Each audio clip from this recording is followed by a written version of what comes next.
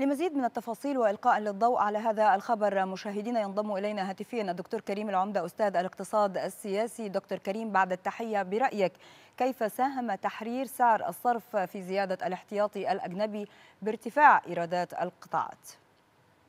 ما نقدرش ننكر إن إحنا كان عندنا أزمة كبيرة في في تدفقات العملات الأجنبية في عام 2016 وده طبعا يعني ده بيبقى ليه أثر سيء جدا على اقتصادات الدولة واي دولة. يعني إحنا لما يكون عندنا سعرين سوق سوداء لسعر الصرف أو وجود سعرين لسعر الصرف ده بالتالي بيوقف عجلة الاقتصاد بشكل كامل وده طبعا ده كان أمر طبعا لن يعني كان لا يصح ابدا.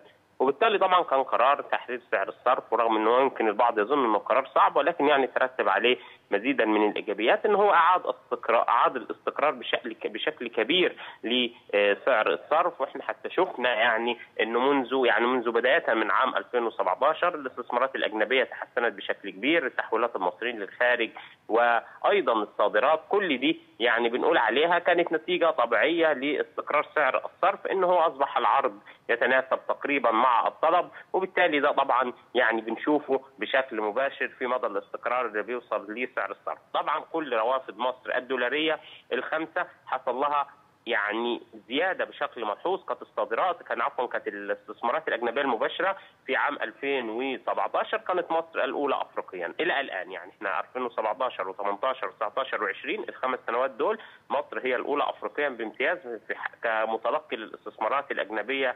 المباشرة وثاني دولة عربية بعض الإمارات ثم حتى إن تحويلات المصريين في الخارج وهي أهم مصدر من العملات الأجنبية اللي وصلت في عام 2020 ل 32 مليار دولار تقريبا أيضا. حصل لها تطور ونمت بشكل كبير بالإضافة إلى تحسن إيرادات قناة السويس. والسياحة أصلا حتى برضه حدث لها يعني طفرة كبيرة في عام 2019 وان ساءت في عام 2020 السياحة نتيجة ظروف الإغلاق العالمي وخلافه. ولكن هي حتى إن التوقعات يعني بتؤدي إلى أو بتودي إلى إن يعني عام 2021 وعام 2022 هيكون فيها تحسن في السياحة مرة ثاني نعم. آه أيضا الصادرات المصرية أيضا حصل لها نوع أنواع حصل لها يعني حصل لها تطور بشكل كبير وتحسن ملحوظ خاصة في بنقول عليها الصادرات الغير بترولية الصادرات الصناعية. وده طبعا يعني آه كان طبعا التطور اللي حصل في الصادرات الصناعية يعني خاصة في آه مواد البناء الحديد والأسمنت والملابس والمنسوجات وخلافه وده طبعا بنقول عليها إشارة جيدة آه للاقتصاد المصري وده بينعكس طبعا على الاحتياطي النقدي وأيضا يعني يمكن إحنا عندنا أكبر دليل على كده اللي إحنا شفناه بعيننا مجرده إن في عام 2020 ورغم الإغلاق العالمي والمشاكل الاقتصادية ولكن الجنيه المصري كان من أكثر العملات استقرارا وتحسنا أمام الدولار على الرغم إن في دول كتير ويمكن نعم. الدول دي مثلا فيها ثلاث أربع دول من مجموعة ال 20 حصل لها يعني انخفاض كبير في عملتها أمام الدولار الأمريكي. بالفعل. يعني دكتور كريم نجاح يعني أو دعنا نسلط الضوء على قرار تحرير سعر الصرف، هذا القرار ساهم في توقعات إيجابية من قبل العديد من المؤسسات الدولية والتي أشارت إلى إمكانية خفض الدين العام، يعني أعطينا رأيك بهذا الشأن. طبعا يعني إحنا كلما يعني حصل إحنا طبعا هنا لما بنيجي بنتحدث عن سعر الجنيه أمام الدولار إحنا بيهمنا مدى الاستقرار يعني يكون في استقرار على الفترات الطويلة. الاستقرار هو اللي بيبقى يخلي الثقة أكثر في الاقتصاد. كمان طبعا يعني لما نيجي نتحدث على الدين خاصة الدين الخارجي اللي دايما يعني بيسحب قلق للجميع. إحنا لما بنيجي بنقيم الدين الخارجي وحولناه للعملة المحلية كلما حدث تحسن في العملة المحلية أمام العملات الأجنبية ده معناه إن الدين الخارجي مقايما بالعملة المحلية هينخفض.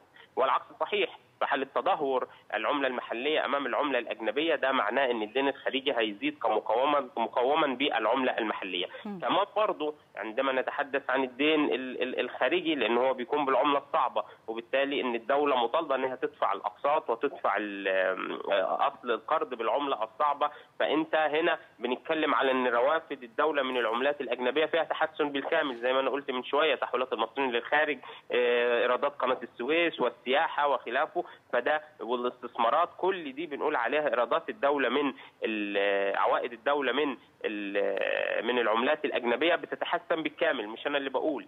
صندوق النقد الدولي وكالات التصنيف الائتماني كلها بلومبورج كل ده تحدث على إن في السنوات القادمة هيكون في تحسن كبير وملحوظ في إيرادات الدولة من العملات الأجنبية وإن يعني كل عام بيمر هنبتدي نشوف في زيادة كبيرة بتحدث في هذا. يعني متوقعين إن الصادرات هتزيد إيرادات قناة السويس فيها زيادة تحويلات المصريين للخارج هتزيد وخلافه. ده هينعكس في النهاية على الاحتياطي النقدي الأجنبي اللي بيدي يعني نوع من أنواع الثقة ونوع من أنواع الأريحية في التعامل مع العملات الصعبة. دكتور كريم العمدة أستاذ الاقتصاد السياسي كنت معنا عبر الهاتف شكرا جزيلا لك.